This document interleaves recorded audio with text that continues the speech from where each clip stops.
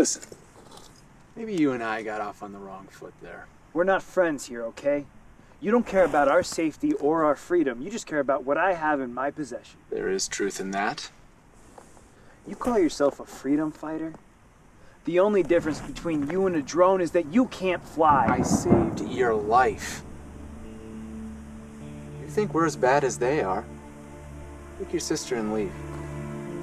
But if you think there's something wrong with this country, and there's a part of you that believes we're on the same side, stay with us. Show me what you got.